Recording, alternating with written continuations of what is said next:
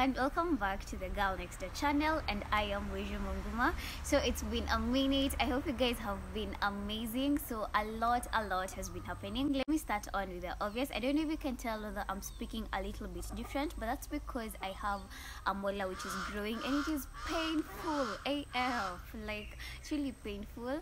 And uh, it's even hard to swallow saliva but mm, we're good.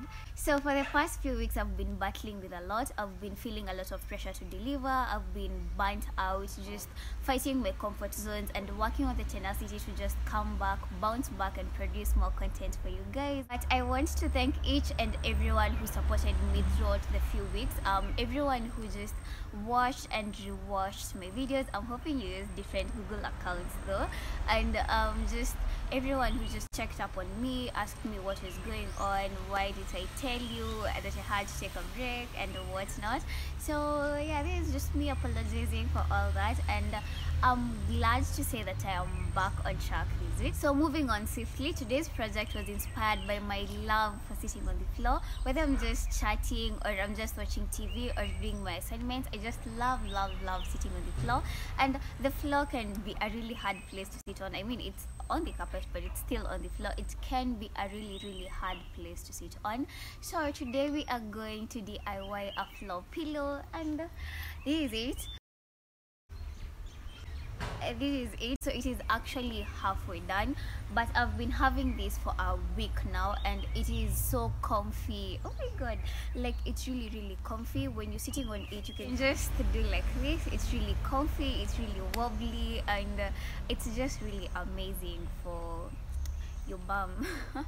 Filtering my words for youtube but it's really amazing for your makalio so in case you haven't already make sure subscribe to my channel. I post brand new home decor and diy videos on this channel. And let's get into the video.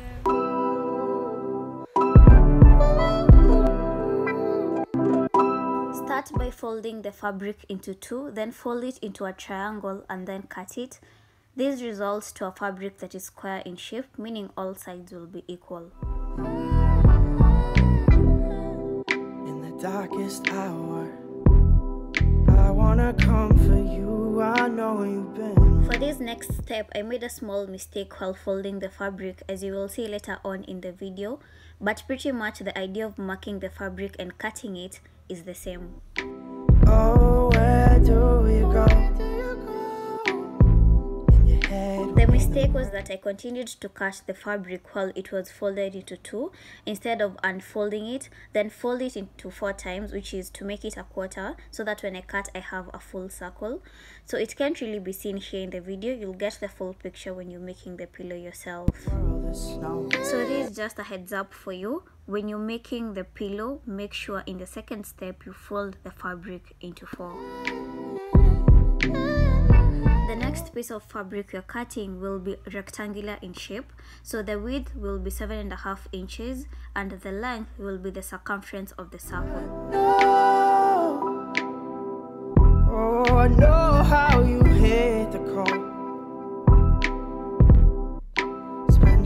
searching for more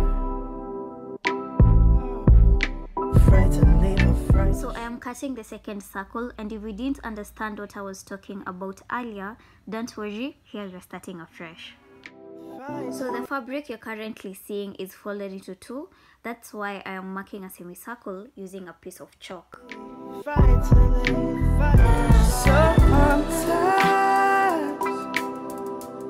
But if I was to fold it into four, then I will only mark a quarter of the circle. Get it?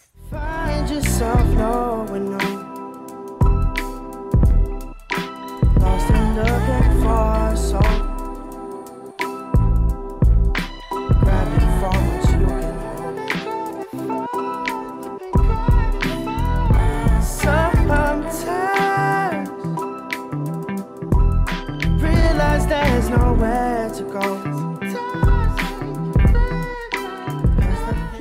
measuring the circumference of the circle so as to know how long the rectangular piece should be.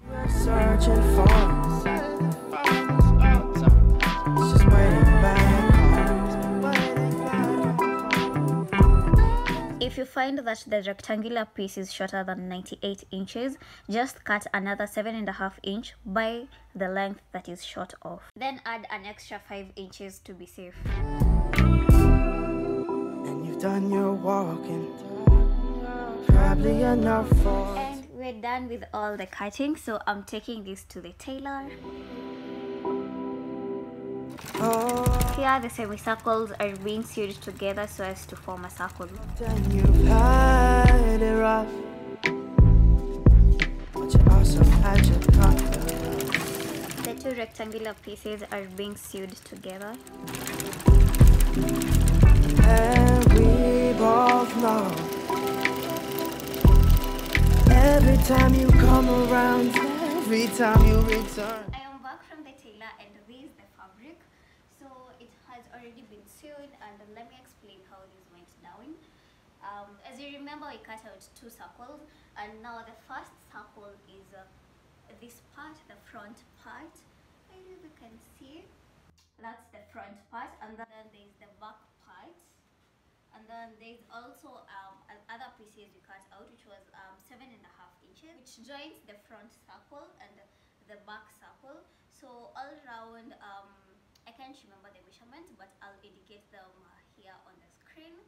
And then um, we also did a little blunder somewhere.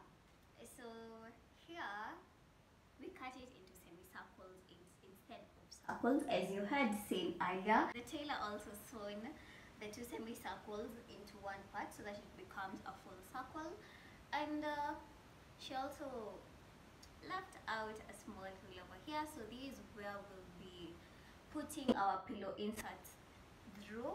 We're going to fill this whole fabric with microfiber through this hole over here so let's get to it.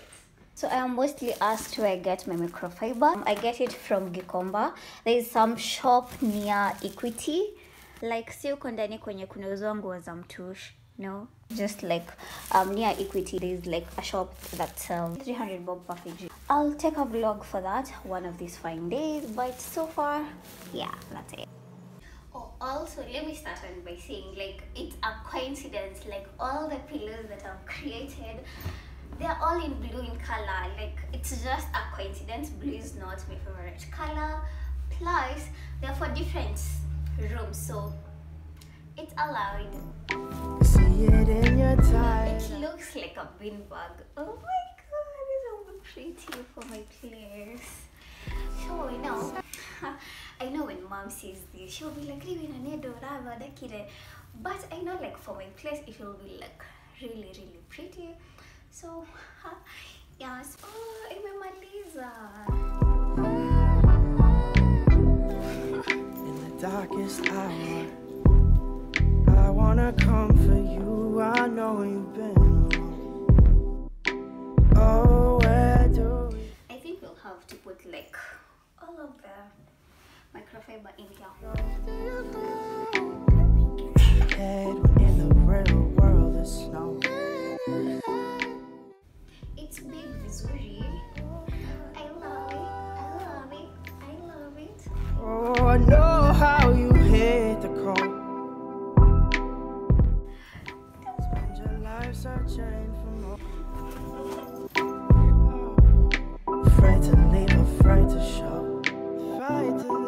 After stuffing the pillow, we are going to stitch the hole and we are using a type of stitch called slip stitch or sometimes called a ladder stitch.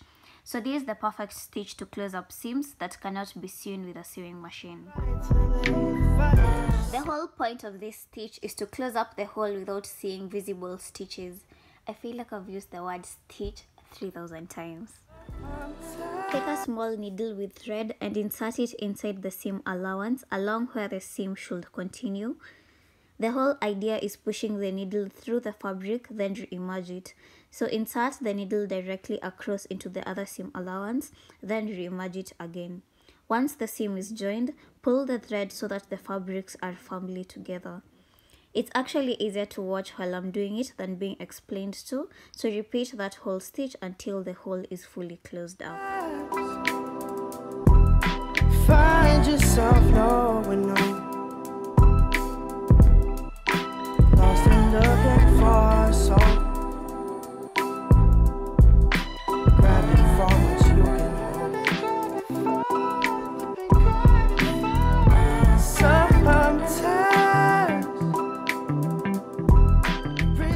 Done stitching remember to close off the stitch with a knot.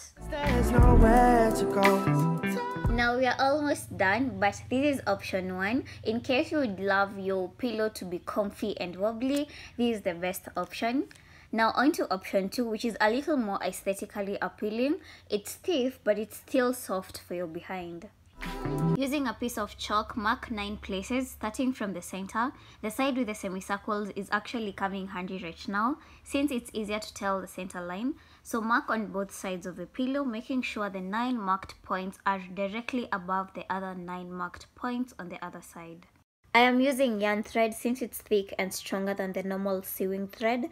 Also use a long needle for this and tie a knot thrice.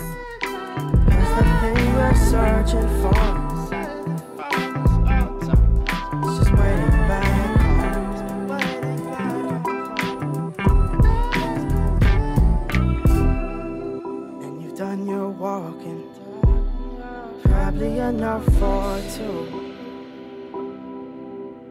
Oh, Here I'm just tying a knot so as to secure it. So tie as many times as possible. Approximately I tied 4 times in each place. You've had it rough, but you also had your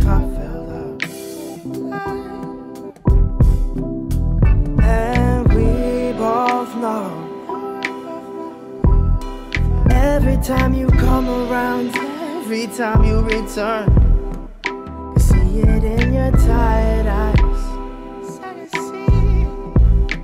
That you still have more to go.